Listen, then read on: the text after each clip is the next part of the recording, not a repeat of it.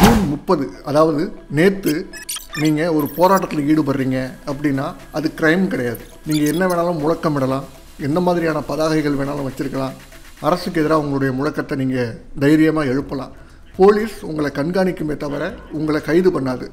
ஒருவேளை நீங்கள் ஏதாவது ஒரு சட்டவிரோதமான செயலில் ஈடுபடுறீங்க அல்லது கலவரத்தை தூண்டும் விதமாக அங்கே ஏதாவது நடக்கு சம்பவங்கள் நடக்குது அப்படின்னா தான் போலீஸ் உங்களை கைது பண்ணும். ஆனால் ஜூலை ஒன்று அதாவது இன்னைக்கு நீங்கள் போராட்டம் பண்ணுறீங்கன்னா உங்களை கைது பண்ணுவதற்கான நிறைய வாய்ப்புகள் இருக்குது காரணம் என்ன? புதிதாக வந்திருக்கக்கூடிய கிரிமினல் சட்டங்கள் என்ன சொல்லுது? இந்த புதிய சட்டங்களால் என்னென்ன மாற்றங்கள் பழைய சட்டங்களில் ஏற்பட்டிருக்கு புதிய வசதிகள் என்னென்ன ஏற்பட்டிருக்கு இதில் இருக்கக்கூடிய பிரச்சனைகள் என்ன அப்படிங்கிறதெல்லாம் ஒன்று ஒன்றா விரிவாக இந்த வீடியோவில் பார்க்கலாம். இது ஏகே பாலிடிக்ஸ் நான் உங்கள் அகிலன் கார்த்திகேயன். மூன்று புதிய கிரிமினல் சட்டங்கள் இன்று முதல் நடைமுறைக்கு வந்திருக்கு இந்தியாவில். பாரதிய நியாய சன்ஹிதா பாரதிய நாகரிக் சுரக்ஷா சன்ஹிதா பாரதிய சாக்ஷிய அதிநியம் ஆகிய மூன்று சட்டங்கள் இன்றிலிருந்து நடைமுறைக்கு வந்திருக்கு. இந்தியாவிலேயே முதல் முறையா பங்கஜ் குமார் அப்படிங்கிற ஒரு வியாபாரி மேல எஃப்ஐஆர் பதிவு செய்யப்பட்டிருக்கு இந்த புதிய கிரிமினல் சட்டங்களால. கமலா மார்க்கெட் போலீஸ் ஸ்டேஷன் டெல்லியில் இருக்கக்கூடிய கமலா மார்க்கெட் போலீஸ் ஸ்டேஷன் அப்படிங்கிற அந்த ஸ்டேஷன்ல இந்த பங்கஜ் குமார் அப்படிங்கிற ஒரு பீகாரை சேர்ந்த வியாபாரி மேலே போக்குவரத்துக்கு இடையூறாக இருந்தார் அப்படிங்கிற அடிப்படையில் section two eighty five of BNS Bharatiya Nyaya சங்கீதாவோட section two eighty five அதன் அடிப்படையில் வழக்கு பதிவு செய்யப்பட்டிருக்கு எஃப்ஐஆர் பதிவு செய்யப்பட்டிருக்கு. இதுதான் இந்தியாவிலேயே முதல் கேஸ் சரி என்னென்ன புதிய அம்சங்கள் இந்த புதிய சட்டங்களில் இருக்குது அப்படிங்கிறத பார்த்தோம்னா மாடர்னைஸ் பண்ணியிருக்காங்க எந்த வழக்காக இருந்தாலும் இனிமேல் தொடரப்படக்கூடிய புதிய வழக்குகள் எல்லாம் டிஜிட்டைஸ் பண்ணணும். அதாவது சார்ஜ் ஷீட்டாக இருந்தாலும் சரி எஃப்ஐஆராக இருந்தாலும் சரி அல்லது குற்ற வரலாறாக இருந்தாலும் சரி எல்லாமே வந்து டிஜிட்டைஸ் பண்ணணும். அதாவது கம்ப்யூட்டரில் ஏற்றி வைக்கணும். இந்த புதிய சட்டங்கள் கடந்த டிசம்பர் மாதம் இரண்டாயிரத்தி இருபத்தி மூணில் உள்துறை அமைச்சர் அமித்ஷாவால் அறிமுகம் செய்யப்பட்டுச்சு. ஜூலை ஒன்றாம் தேதி இது நடைமுறைக்கு வரும்னு அப்போது அறிவிச்சிருந்தார். முன்னாடி இருந்த சட்டம் வந்து பிரிட்டிஷ் கலோனியல் ஏராவோட அடிமையாக இருக்கக்கூடிய சட்டங்கள் அவங்கள பின்பற்றக்கூடிய சட்டங்கள். ஆனால் இப்போ நாம் உருவாக்கி இருக்கிறது பியூர் இந்தியன் லாஸ் இந்தியாவிலேயே உருவாக்கப்பட்ட சட்டங்கள் இந்திய நடைமுறைகளுக்கு ஏற்ற மாதிரி உருவாக்கப்பட்டிருக்கிற சட்டங்கள். தற்போது நடக்கக்கூடிய சமகால பிரச்சனைகளை தீர்க்கக்கூடிய அளவுக்கு அல்லது அதர் தண்டனைகளை அறிவிக்கக்கூடிய அளவுக்கு புதிய சட்டங்கள் ஏற்றப்பட்டிருக்கு அப்படிங்கிறதெல்லாம் அமித்ஷா நாடாளுமன்றத்தில் பேசியிருந்தார். பயங்கரவாத செயல்களுக்கு ஏற்கனவே ஒரு லிஸ்ட் இருக்கு. இதெல்லாம் செய்தால் அவர்கள் பயங்கரவாதிகள் அப்படின்னு சொல்றாங்க.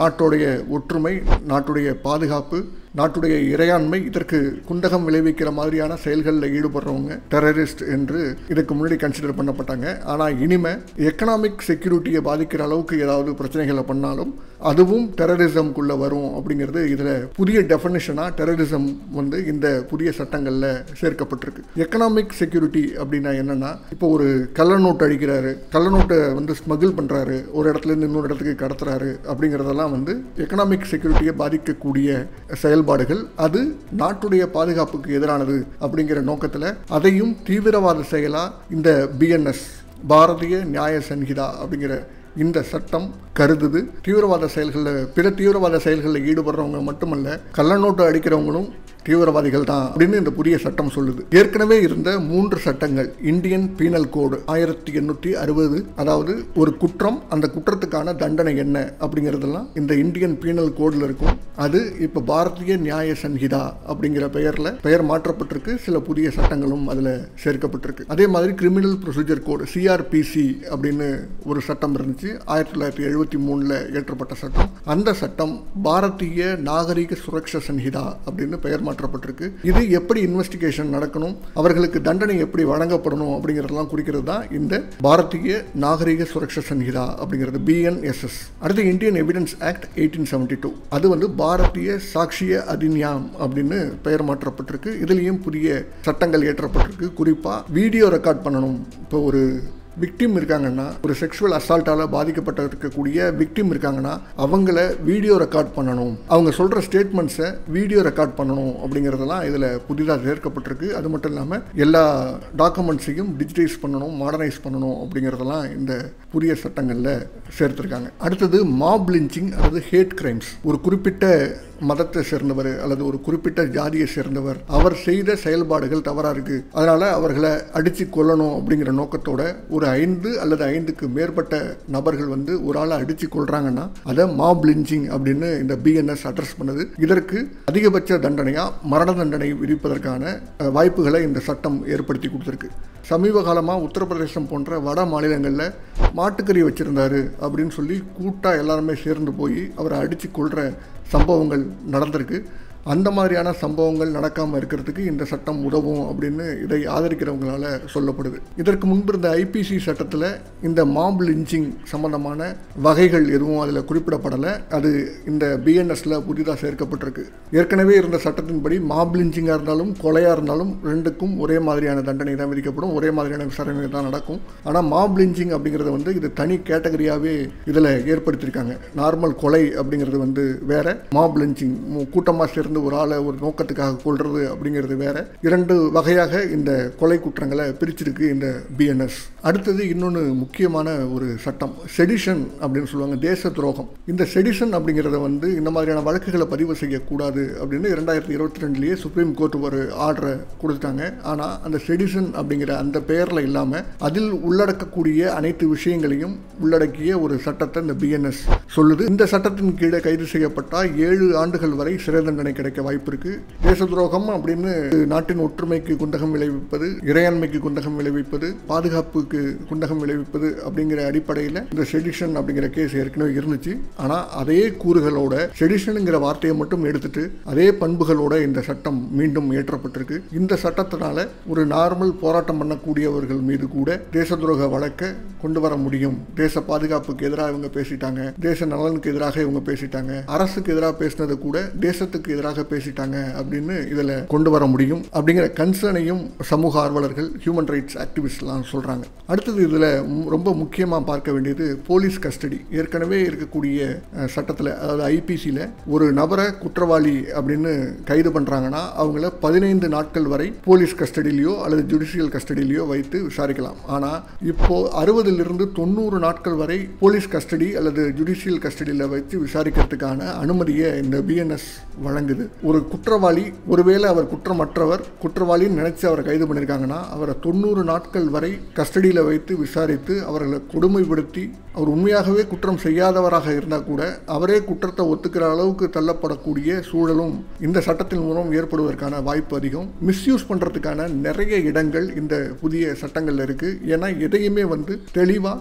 இந்த குற்றத்துக்கான தண்டனை இந்த குற்றம் செய்தால் இது அப்படின்னு தெளிவாக இல்லாமல் எல்லாமே மேம்போக்காக மேலோட்டமாக இருக்குது அப்படிங்கிறது தான் சமூக ஆர்வலர்கள் வைக்கக்கூடிய குற்றச்சாட்டு. இதில் பலராலும் வரவேற்கப்படக்கூடிய ஒரு விஷயம் இருக்குது கம்யூனிட்டி சர்வீசஸை வந்து ஒரு பனிஷ்மெண்ட்டாக இதில் சேர்த்துருக்காங்க. கம்யூனிட்டி சர்வீஸ்னால் சோஷியல் சர்வீஸ். இப்போ ஒரு ரோடு ஆக்சிடெண்ட்டில் ஒருத்தர் ஈடுபடுறாருன்னா அவர் தொடர்ந்து ஒரு அடுத்த ஒரு முப்பது நாளைக்கு நீங்கள் ரோட் சம்மந்தமான விஷயங்களில் சர்வீசஸில் ஈடுபடணும் டிராஃபிக்கை கிளியர் பண்ணணும். யார் யாரெல்லாம் ஹெல்மெட் போட்டு வரலையோ அவங்களுக்குலாம் ஹெல்மெட் போட சொல்லி அவங்கள அறிவுறுத்தணும். டிராஃபிக் சிக்னலில் நின்று எல்லாரையும் ஒழுங்குபடுத்தணும் அப்படிங்கிற ஒரு கம்யூனிட்டி சர்வீஸை அந்த குற்றவாளிக்கு தண்டனையாக கொடுக்கலாம். அல்லது ஒரு இளைஞர் ஒரு முதியவரை தாக்கிட்டாருன்னா நீ ஒரு மாதம் முழுக்க முதியோர் இல்லத்தில் போய் அவங்களுக்கு சர்வீஸ் பண்ணு அப்படிங்கிற தண்டனையை கொடுக்க முடியும். இந்த மாதிரியான பாராட்டத்தக்க கூடிய விஷயங்களும் இதில் இருக்குன்னு அதன் ஆதரவாளர்கள் சொல்கிறாங்க இந்த மாதிரியான தண்டனைகளை ஏற்கனவே ஜட்ஜஸ் வந்து கொடுத்துக்கிட்டு தான் இருக்காங்க. ஆனால் இதை சட்டத்தில் எழுதி வைக்கிற அளவுக்கு முக்கியமானதா அப்படிங்கிறத கவர்மெண்ட் யோசிக்கணும்னு இதை எதிர்க்கிறவங்க பேசுகிறாங்க இந்த மூன்று சட்டங்களில் இருக்கக்கூடிய பிரச்சனைகளை நிறைய பட்டியலிடுறாங்க. அதில் ரொம்ப முக்கியமானது ஜூன் முப்பதாம் தேதி வரை நடந்த நடைபெற்ற குற்றங்களுக்கு ஐபிசி அல்லது சிஆர்பிசி அடிப்படையில் வழக்குகள் விசாரிக்கப்படும் குற்றங்களுக்கான தண்டனை வழங்கப்படும். ஜூலை ஒன்றிலிருந்து புதிய சட்டங்களின் அடிப்படையில் விசாரிக்கப்படும் தண்டனை வழங்கப்படும். இது யாருக்கு சிக்கல்னா வழக்கறிஞர்களுக்கு சிக்கல். போலீஸ் கேஸ் ஃபைல் பண்ணவங்களுக்கு எந்த டாக்குமெண்ட்டை கொடுக்கறது அப்படிங்கிறதுல சிக்கல் இருக்கும். குற்றம் சாட்டப்பட்டவர்களுக்காக வாதாடக்கூடிய வழக்கறிஞர்கள் நம்ம ஜூன் முப்பதுக்கு முன்னாடி இருக்கிற கேஸை வச்சு வாதாடுறதா? அல்லது ஜூலை ஒன்றாம் தேதியிலேருந்து இருக்கக்கூடிய கேஸுக்கு வாதாடுறதா? எந்த சட்டம் யாருக்கு பொருந்தும்? ஏன்னா ஒரு வழக்கறிஞர் ஒரு கேஸ் மட்டும் அட்டன் பண்ண போகிறது கிடையாது. அவர் நிறைய கேசஸ் அட்டன் பண்ணுவார். அப்போது ஒரு குற்றம் ஜூன் முப்பதுக்கு முன்னாடி நடந்திருக்கு. இன்னொரு குற்றம் ஜூலை ஒன்றாம் தேதிக்கு பிறகு நடந்திருக்குன்னா அவருக்கே எந்த சட்டத்தை நம்ம வந்து வாதாடணும் அப்படிங்கிற குழப்பம் ஏற்படும். இதே நிலை நீதிபதிகளுக்கும் ஏற்படும். எந்த சட்டத்தின் அடிப்படையில் நம்ம விசாரிச்சுக்கிட்டு இருக்கோம்? எந்த சட்டத்தின் அடிப்படையில் நம்ம தண்டனை வழங்கணும்? அப்படிங்கிற எல்லா குழப்பமும் நீதிபதிகளுக்கும் ஏற்படும். காவல்துறையினருக்கும் ஏற்படும். வழக்கறிஞர்களுக்கும் ஏற்படும். குற்றவாளிகள் குற்றவாளி கூண்டில் நிற்கக்கூடிய குற்றவாளிகளுக்கும் ஏற்படும் எந்த சட்டத்தின் அடிப்படையில் நாம் தண்டிக்கப்பட போகிறோம் அப்படிங்கிறது.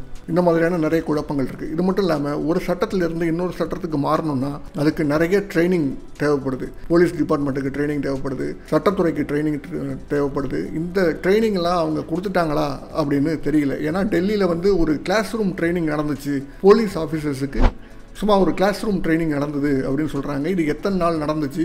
தமிழ்நாட்டில் இருக்கக்கூடிய அனைத்து காவலர்களுக்கும் இந்த ட்ரைனிங் வழங்கப்பட்டுச்சா? அனைத்து வழக்கறிஞர்களுக்கும் இந்த ட்ரைனிங் வழங்கப்பட்டுச்சா? அப்படிங்கிறதுக்கான எந்த தகவலும் கிடைக்கல. இந்த டிரான்சிஷன் பழைய சட்டங்களிலிருந்து புதிய சட்டங்களுக்கு மாறுவதற்கான சூழல் அந்த மனநிலை அதை ஏற்றுக்கொள்ளுகிற மனநிலை மீண்டும் பழைய ச வழக்குகளையும் வாதாடணும் அப்படிங்கிற அந்த நிலையிலிருந்து இதை பார்க்கும்போது மிகப்பெரிய குழப்பத்தில் சட்டத்துறையும் மிகப்பெரிய குழப்பத்தில் வழக்கறிஞர்களும் காவல்துறையினரும் இருப்பார்கள் அப்படிங்கிறதுல மாற்று கருத்து இருக்க முடியாது. இன்னொரு முக்கியமான விஷயத்தையும் இந்த பிஎன்எஸ் மேற்கொள்ளுது. அது என்னன்னா 그러나 விசாரணையை விரைவாக முடிக்கணும். இப்போ ஒரு குற்றம் நடந்துருச்சுன்னா அதற்கான விசாரணையை ரொம்ப விரைவாக முடிக்கணும். அதற்கான தீர்ப்பு உடனே வழங்கப்படணும் அப்படிங்கிறதுல தெளிவாக இருக்குது இந்த சட்டம். இந்த மாதிரி அவசரப்படுத்தி ஒரு விசாரணையை மேற்கொள்ளணும்னா தவறான தீர்ப்புகளுக்கு அது வழிவகுக்கும் அப்படிங்கிற கருத்தையும் முன்வைக்கிறாங்க. நம்ம ஏற்கனவே என்ன சொல்லிக்கிட்டு இருந்தோம்னா இந்திய சட்டங்கள் வந்து ரொம்ப ஸ்லோவானது.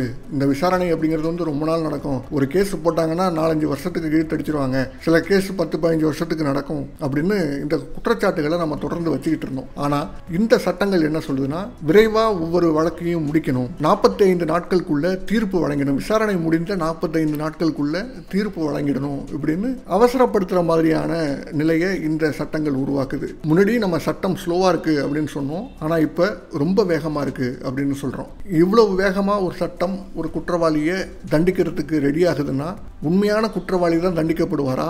அல்லது யார் மாற்றாங்களோ அவங்க மீது தண்டனை பாய்ந்து அவர்கள் தண்டிக்கப்படுவார்களா அப்படிங்கிற கேள்விகள்லாம் இருக்குது ஒருவர் மீது குற்றம் சாட்டப்பட்டுச்சுன்னா அவர் தான் குற்றவாளி அப்படின்னு தீர்ப்பு வர வரைக்கும் அவர் குற்றவாளி இல்லை அப்படிங்கிற எண்ணத்தோடு தான் சட்டம் அவரை அணுகும்.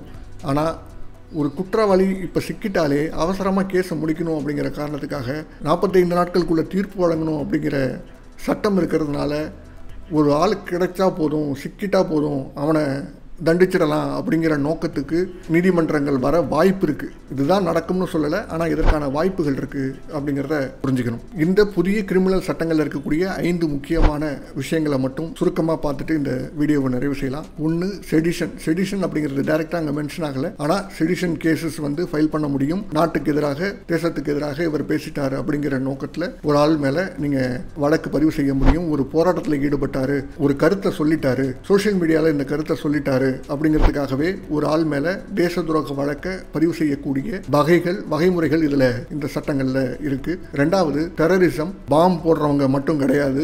கள்ளநோட்டு அடித்தா கூட அது டெரரிசமில் சேர்க்கப்பட்டிருக்கு இந்த புதிய சட்டத்தில். அடுத்தது மூன்றாவது கம்யூனிட்டி சர்வீசஸில் ஈடுபடணும். ஒரு நபர் ஒரு குற்றச்செயலில் ஈடுபடுறாரு. அது ஒரு பெரிய அஃபென்ஸ் கிடையாது. ஒரு மைனர் அஃபென்ஸாக இருக்குன்னா அவர் சோஷியல் சர்வீஸ் ஆக்டிவிட்டீஸில் ஈடுபடணும் அப்படிங்கிறத இந்த சட்டத்தில் சொல்லியிருக்காங்க. அடுத்து நான்காவது போலீஸ் கஸ்டடி பதினைந்து நாள் தான் முன்னாடி போலீஸ் கஸ்டடியோ அல்லது ஜுடிஷியல் கஸ்டடியோ இருக்கும். அதுக்குள்ளே விசாரணையை முடிக்கணும். ஆனால் இனி தொண்ணூறு நாட்கள் வரை ஒரு நபரை ஒரு குற்றவாளின்னு குற்றம் சாட்டப்பட்டவரை நீங்கள் தொண்ணூறு நாள் வரை சிறையில் அடைத்து விசாரிக்க முடியும். அவர்களுக்கு பெயில் வழங்குறதுலேருந்து எல்லாத்துலேயும் சிக்கல் ஏற்படும். இந்த மாதிரியான பிரச்சனைகள் இந்த போலீஸ் கஸ்டடி சம்பந்தமான விஷயத்தில் இருக்குது அடுத்தது ஐந்தாவது டிஜிட்டல் எவிடன்ஸ் குறிப்பாக எல்லா கிரைமும் வீடியோ ரெக்கார்ட் பண்ணப்படணும். குறிப்பாக செக்ஷுவல் ஹராஸ்மெண்ட்டால் பாதிக்கப்பட்டவர்கள் அவர்களோட ஸ்டேட்மெண்ட்டை வீடியோ ஆதாரமாக பதிவு செய்யணும் அப்படிங்கிற விஷயத்தை இந்த சட்டம் சொல்லுது.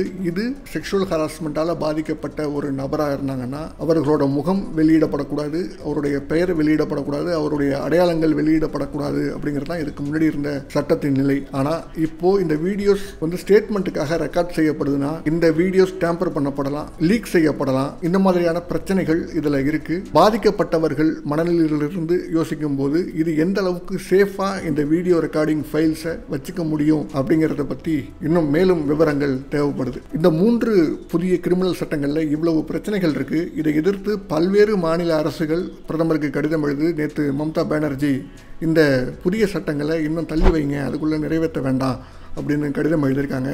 நிறைய சமூக ஆர்வலர்கள் இந்த புதிய சட்டங்கள் சாதாரண மக்களை பாதிக்கக்கூடிய அளவுக்கு இருக்குது ஒரு போராட்டம் கூட பண்ண முடியாத அளவுக்கு கருத்து சுதந்திரத்தை பறிக்கக்கூடிய அளவுக்கு இருக்குது ஒரு சாதாரண போராட்டம் அரசுக்கு எதிராக ஒரு போராட்டம் பண்ணவங்கள கூட தேச துரோக வழக்கில் கைது செய்யக்கூடிய அளவுக்கு ப்ரொவிஷன்ஸ் இந்த சட்டங்களில் இருக்குது அதனால் இந்த சட்டத்தை நடைமுறைப்படுத்தக்கூடாது அப்படின்னு நிறைய சமூக ஆர்வலர்கள் கடிதமும் எழுதியிருக்காங்க. குடியரசுத் தலைவருக்கு. இனிவரும் நாட்களில் என்ன மாதிரியான பிரச்சனைகள் இந்த புதிய சட்டங்களால் வரப்போகுது.